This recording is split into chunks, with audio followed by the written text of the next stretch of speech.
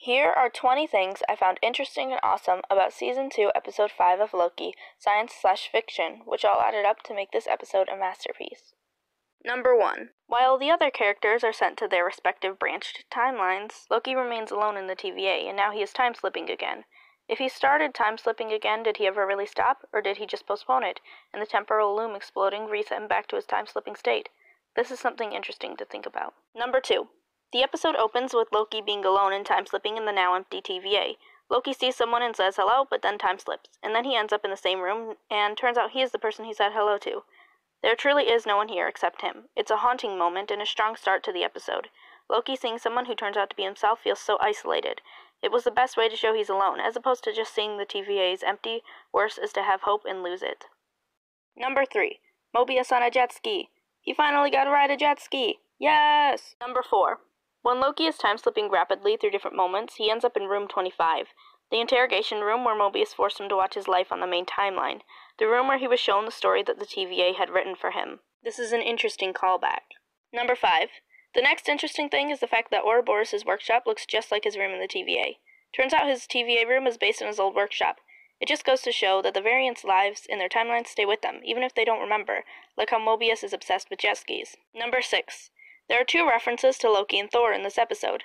First, OB's book is called Sons of Yorin, and while this could be overanalyzing, it may be a reference to the two sons of Odin. Also, Don, which is Mobius's name in the timeline, sounds like Odin, and Don has two sons, one of which is mischievous, like Loki, and the other one wants a pet snake, like Thor did, as talked about in Ragnarok. Number 7. You're not just moving through time, you're moving through space. Loki has become the Tesseract. In the beginning of the show, him stealing the Tesseract was the inciting incident that turned him into a variant and ended him up in the TVA. Now, two seasons of development later, he has those powers he wanted so badly, and he's ready to use them for good. Number 8.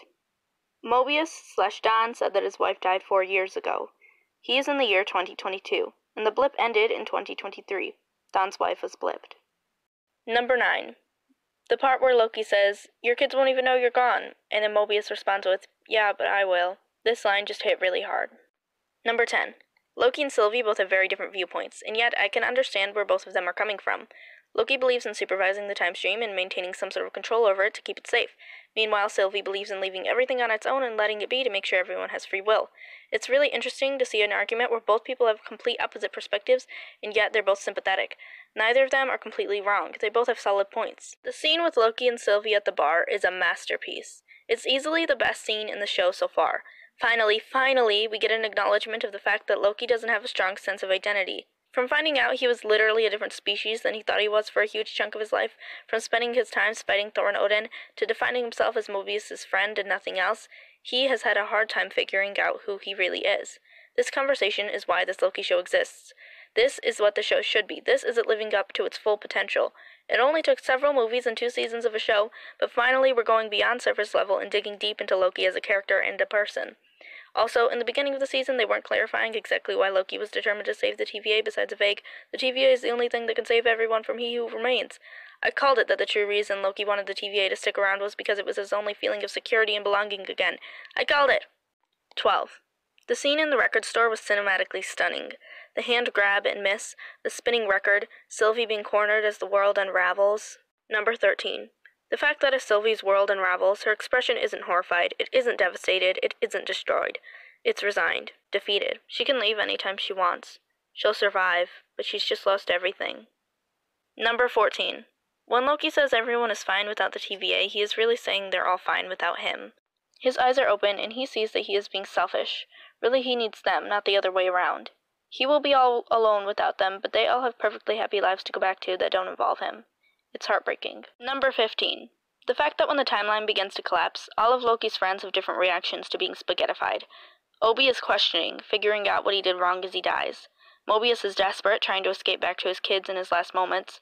B 15 was horrified, crying out, and Sylvie, like in the record shop, was simply resigned and hopeless. She is so used to losing. Number 16. As the noise overlaps when Loki is grasping at the time unraveling around him, one of the noises you can hear is Sylvie's line from season 1 We're destined to lose. Number 17.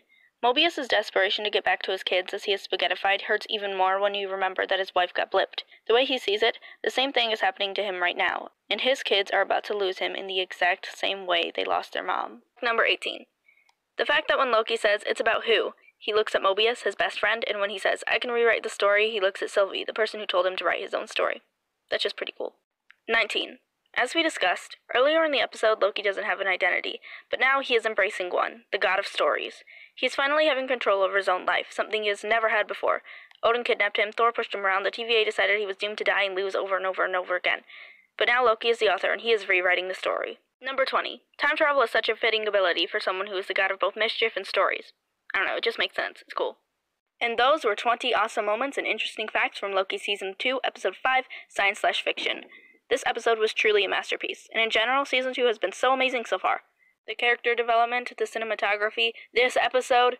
Yes, season two is great so far. Let's see how they follow it up because there is a new episode tonight, and I'm excited for that, so let's see how they do. Thanks for watching.